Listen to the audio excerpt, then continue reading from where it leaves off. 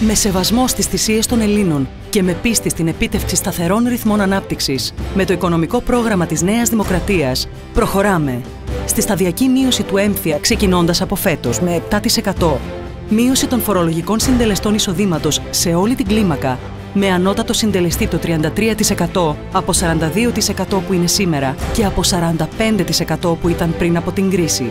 Μείωση των φορολογικών συντελεστών των επιχειρήσεων σταδιακά ώστε να φτάσει τελικά στο 15%. Επέκταση της δυνατότητας καταβολής ΦΠΑ μόνο όταν το τιμολόγιο πληρωθεί σε επιχειρήσεις με τζίρο μέχρι και 2 εκατομμύρια ευρώ. Κατάργηση του πόθεν έσχες για την πρώτη κατοικία. Επέκταση της απαλλαγής ΦΠΑ από την πρώτη κατοικία. Στις 25 Ιανουαρίου δεν αποφασίζουμε απλώς για το ποιο κόμμα θέλουμε.